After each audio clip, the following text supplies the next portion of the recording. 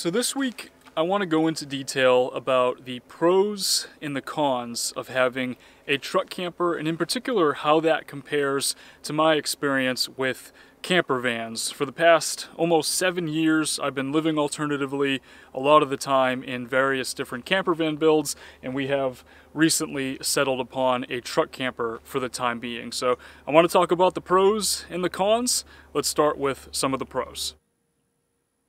Okay, so pro number one is the cost of a slide-in truck camper. You can get a slide-in camper like this in a pickup truck for a lot cheaper on average than it would cost you to buy an empty shell cargo van and build it out yourself, or even more expensive, to buy an already fully converted Class B RV. When I bought this truck, just before I bought it, I was also considering potentially getting a box van and then converting that myself. But when I was searching, I found that box vans were incredibly expensive, at least at the time, which was early last year. And, uh, you know, I was looking at like $20,000 for a box van with 130, 140,000 miles on it, and it was beat to crap. I mean, and they were all priced like that simply because there was great demand for cargo vans and for vans in general and, and box trucks. Uh, whereas with pickup trucks, yes, the price still has gone up quite a bit for pickup trucks, but there are just a lot more pickup trucks out there. I mean, everybody has a pickup truck, it seems, at least here in the United States. So when you go searching for one to buy, like it's much more likely that you're going to find something that'll work for you in your price range. Of course, after getting the truck, I then needed to add the camper, and a few months later, I actually bought a different camper from this one. I had it before this, and it's uh, it was an older Phoenix pop-up camper from 1998. Unfortunately, it was in pretty rough shape, and I didn't realize how bad of shape it was in before I bought it. So I ended up swapping that one out for the upgraded Rogue here. And, you know, overall though, even with everything and me losing my butt on that whole transaction, it still, I think, is cheaper than it would have been for me to buy that box van that had way more miles than this truck even has on it and would have required me to do all of that work to convert. And, you know, I, I really do think that if you find the right slide-in camper, you might be able to find something used that's a little bit older. I mean, you can get into a truck and a slide-in camper cheaper than it would cost to build out a van or buy a Class B RV. And that kind of leads me to point number two here, pro number two, and that's that when you buy a slide-in camper like this, or even an older one, you're not going to have to build your home entirely from scratch. If you buy a high-top cargo van or a box van, you're going to have to spend months and months building it out and, and doing all kind of work to it, whereas this, for me at least, was entirely turnkey and I was ready to hit the road. Pro number three is that truck campers are just quite a bit roomier than vans are in general, at least in my experience. This camper and then even the old beat up one that I had just before this were both larger than any vehicle that Shannon and I had had beforehand. That includes the Sprinter, the HiAce, and everything else. There's just a lot of space with that cab over bed, and then you have the little dinette area. A lot of them even have like a bathroom in the back if you get one that's even a little bit bigger than this one. And uh, there's there's a lot of space, and then on top of that, if you have an extended cab or a crew cab pickup truck like this, you're going to gain all the storage in the back. So I'm able to stick like sporting gear back there, tools, and everything else. I mean, there's just way more space. Pro number four, it is very easy to take a truck camper off the bed of a pickup truck. It's kind of nice to be able to pull the truck away and then have your pickup truck back to be able to do other things. So if you're for example, living off-grid on some land in the middle of the desert and you need the truck to haul water or to haul materials for a project or whatever it may be, uh, it's pretty easy just to pull this thing off, set it aside, and then get your truck back. And then even if you are full-time in the camper, it's also kind of nice to be able to park at a campground, take the camper off, and then have your truck Pro number five is just the overall profile of the truck camper. I'm able to fit it into a regular parking space relatively easily. I guess that's also a pro for most camper vans too, though. There's not too many that don't fit in a regular space, so it's not really much of an advantage over vans, but I guess it is over maybe small RVs, for example. And that brings me to pro number six, which is probably the last pro on my list of good things about truck campers, and that is that they are very mobile, or at least can be very mobile. You can put them on lifted pickup trucks with aggressive all-terrain tires and actually be able to overland with them and get them to places that a standard van won't be able to go. The one time that I did kind of off-road to an adventurous location with this truck, uh, I lost a coolant hose and made a giant mess. But you know, if, if you're more careful than I am, then you could definitely create an overlanding rig out of a truck camper and be able to get to some really cool spots. All right, moving right along to the list of cons of having a truck camper versus a camper van in particular. And there are quite a few cons. I think number one has got to be gas mileage. For us in particular, this is a three quarter ton truck.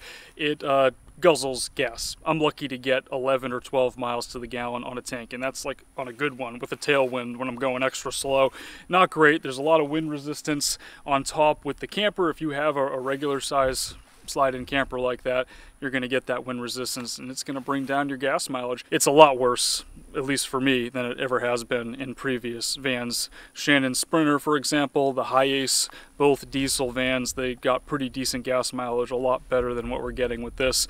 Number two is that it can be pretty difficult to find a camper to fit a specific truck. So say you already have a pickup truck or you found one that you really like and then you haven't quite found your camper yet, it can be a little bit of a problem. In particular, just because a lot of the campers that are out there, the slide-in campers, even the ones that are advertised for half-ton trucks, don't actually fit comfortably in a half ton truck. They're kind of making it up a little bit. Like it's not quite safe to put a 1600 pound Lance 650, for example, in the bed of your F-150 that has a 1700 pound payload. You know, so you have to, you know, you have to be able to figure that out, I guess, before you embark on this route. And that is definitely a con in, in my opinion. You know, that's a big reason why we just went with a three quarter ton truck to begin with. Like I didn't want to have to deal with that. I wanted to have my options open. But say you have a Tundra, for example. I think the Tundra is a great truck. Say you have one of those, like you're going to have to be careful about what camper you choose. And then you might need to do some modifications like airbags or suspension upgrades in order to make it so that it rides comfortably and safely in the bed of your truck. Con number three is that campers and RVs in general these days kind of suck. They are like not very well built. There's a reason why they call it RV quality and even if you buy something brand new, especially if it's like this where it you know came off of an assembly line, you can just tell like build quality wise it's not really there. And I think that applies for the vast majority of campers and RVs. Even the higher end ones still have their issues when they're coming off an assembly line like that. So you got to be careful. That's something to think about when you're looking at a truck camper, especially if you're looking at a used one and you wind up with something that's 15 or 20 years old like I did and then realize that it's kind of you know, falling apart. Like the roof is just doesn't fit right over the edges and water is pouring inside your camper, for example. But, you know, just speaking from experience, there are things to think about with build quality. Con number four has got to be ingress and egress, getting into and out of a truck camper. Comparing it to a van, most vans are going to have like two front doors, driver and passenger side. There's going to be a sliding door and usually a rear door. So it's pretty easy to get in and out of it if you find your entry point when you're designing your camper van and it makes it a lot easier to kind of move around. With a truck camper, you only have one way to get in and out usually. It's that back door. You know i've seen a few things online where folks are able to do a pass through but generally speaking like the window that's in my camper for example like there's no way you're fitting through that window. And then you'd have to modify your truck and come up with this whole setup and it'd be a pain. It would really only work in emergencies anyways. You certainly wouldn't be using it every day. So getting into and out of a truck camper is challenging. I think con number five has got to be another very important one and that is that a slide-in truck camper like this is not going to hold its value as well as a Class B RV or even a self-converted camper van. When I compare this to my NV200 or the HiAce, for example, like those kind of went up in value over the time that I owned them, whereas this slide-in camper is absolutely not going to go up in value. It's only going to go down more than likely. I guess you could buy like an old beat-up slide-in camper and then spend a bunch of time restoring it and fixing it up, and then maybe it would hold its value or go up in value a little bit. But generally speaking, partially probably due to the build quality that I touched on a few moments ago, these guys are just not worth as much money as Class B RVs in the long run. And con number six, the last one on this list, is probably the one that bugs me the most, and that is that this rig and most truck camper rigs similar to this have absolutely zero stealth factor. They are not stealthy at all. I have lost any ability to stealth camp. I mean, I, I can still do it, and I am probably going to do it. Stay tuned for next week's video. I'm more than likely going to be trying to blend in on the coastline, but I'm not really going to blend in. It's just going to be a matter of whether or not I get lucky or whether or not the neighbors are bothered by my presence, I guess. But, you know, it is what it is, I guess. This thing is just not stealthy, and any truck camper of at least this size is not going to have any stealth factor. So what's the verdict? Is a truck camper better than a camper van? Is truck life better than van life?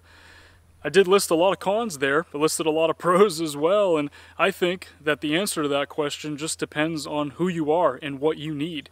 At this moment in my life, I think having a pickup truck that I can separate from a camper and having a nice comfortable space to be able to travel while I am not living off grid and working on that property in New Mexico is absolutely the right choice. So for me, a truck camper is 100% better than a van at this point in my life. But for you, if you're considering getting a truck camper or possibly a camper van or some other kind of RV, you got to make your own pros and cons list and try to decide what will work best for you. Hope this video was helpful for some of you guys out there that might be considering getting a truck camper or possibly hitting the road and traveling in one for an extended period of time. These are the things that I was thinking about a lot in the time leading up to when I bought the pickup truck and then the two campers uh, after that. So like I said, hopefully, uh, hopefully there was some valuable information in there. If anybody else has any pros and cons, feel free to share them below. I'm sure that I forgot a couple of them. And if you haven't subscribed, please do so. Definitely helps out the channel. I can't thank y'all enough for watching and for following along on this journey. I'll talk to you guys in the next one.